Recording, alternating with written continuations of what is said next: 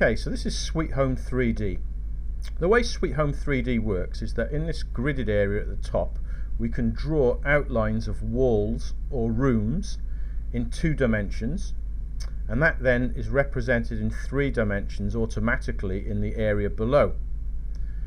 Any of these items, like this bath, have been dragged from a library section over here and placed anywhere within the, the room and that then is represented in the 3D view as well. So I can come down the bottom here in this bottom area and if I hold down my mouse button, my left mouse button, I can move and see different views and different angles of those rooms. I can zoom in or zoom out using my mouse and basically I can see when I position objects, furniture, etc. up in this top area what it looks like in the area below. You'll see from these um, views here that I've got floating things which are lights and um, a fan.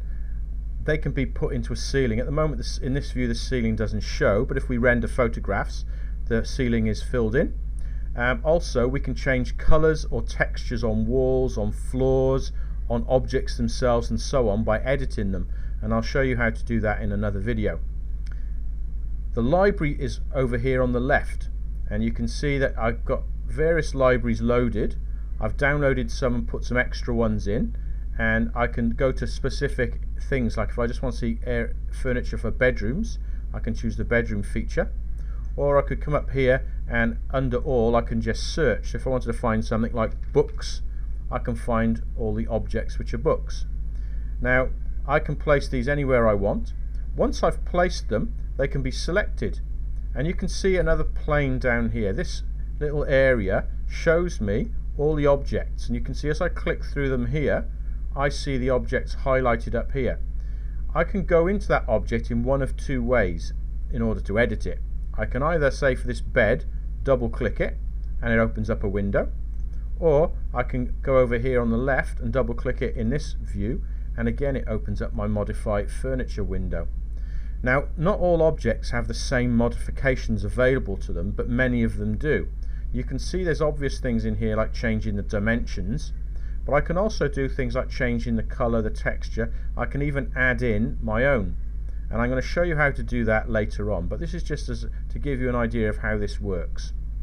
So, in the same way that I can modify objects, I can modify walls, I can double click on a wall I can go into that area and I can change something about the wall. I can change the texture or the color, whether it's on the left side or the right side, which is basically the inside or the outside.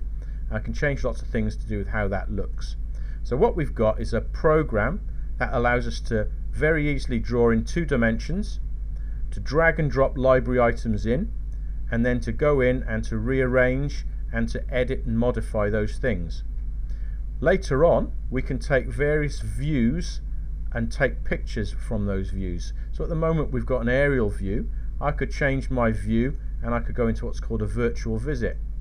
And now I get like a little person up here and that little person, if I move them around, will show me what that room will look like from different viewpoints.